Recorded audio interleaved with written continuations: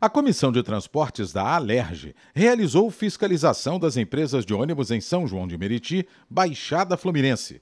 A vistoria aconteceu na Rua da Matriz, em frente ao cemitério de Vila Rosali, da passagem de várias empresas de ônibus, com o apoio da Polícia Militar, Detro, Detran e os usuários dos transportes, diversas irregularidades foram constatadas. Inúmeras reclamações de mau estado de conservação nos ônibus. E aí eu levei para a comissão e resolvemos fazer essa fiscalização hoje, onde foi detectado diversos problemas em ônibus.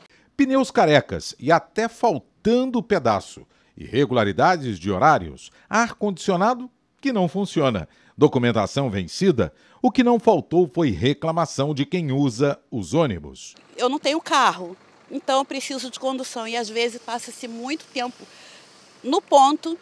E tem uma linha aqui, Vilar dos Teles, São João, que diz que tem três itinerários, mas se espera 40 minutos o ônibus no ponto. E quando a gente entra no ônibus da Vila Rica, né, esse Pavuna é, Morro Agudo, uh, o ar-condicionado, na maioria deles, não funciona.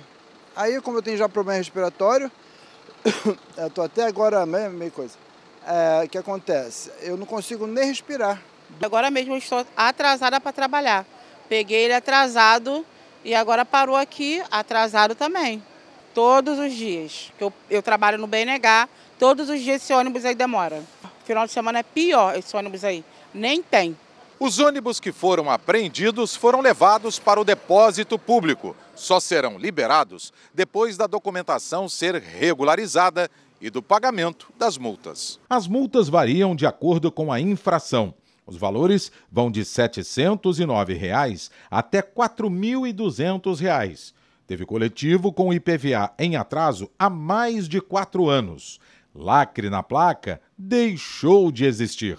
O funcionamento dos elevadores para cadeirantes também foi inspecionado. Há mais de 30 anos não era feito aqui no município de São João de Meriti e, quem, e que tem que ser feito em outros municípios também do nosso estado.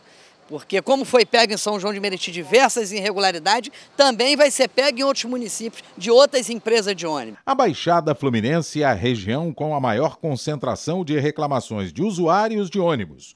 Na fiscalização foram inspecionados 26 coletivos, sendo oito autuados e sete veículos recolhidos.